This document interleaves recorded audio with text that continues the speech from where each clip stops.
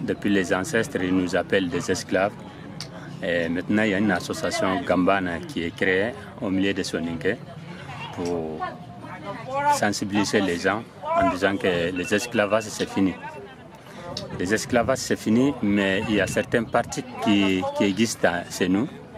Il n'y a que des esclaves, les anciens esclaves qui font ça. L'association s'est basée sur ça pour qu'on arrête ça. Ils sont en train de sensibiliser les gens pour l'arrêter ça. Et c'est ça que les gens qu'on appelle notables qui n'ont pas contact. Et quand tu dis tu vas arrêter ce système-là, ils vont dire que tu quittes au village, tu n'as rien dans le village. Les terres, ça est. Et si tu n'es pas d'accord avec ce système-là, toi, tu n'es plus rien au village. Même les puits qu'on a cotisés, les points, les châteaux d'eau, les, les, hôpitaux, tout ça, ils vont dire que toi, tu n'es plus rien qu'on a fait. Je suis allé voir les visites. Je suis rendu, rendu aux visites pour lui. Et mon retour aussi, ils ont barré la route pour moi aussi. Donc avec leur, leur bâton, leur truc là, sans demander. Ils m'ont frappé. Voilà ma tête, ils ont fait trucs ici et là.